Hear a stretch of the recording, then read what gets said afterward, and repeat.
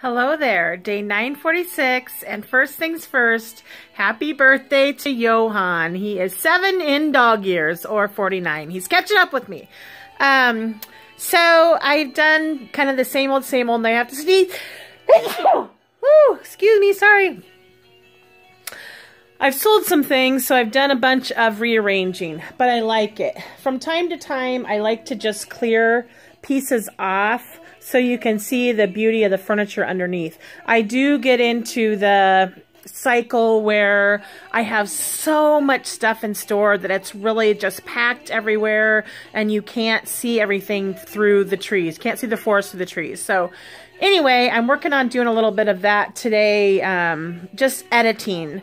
Like I edited this fantastic rolling iron coffee table. I took like half, maybe three quarters of the stuff off of there. Same way with that table I just showed you. And then um, the other day I organized this shelving into all blue pieces. So that's kind of all kept in one place.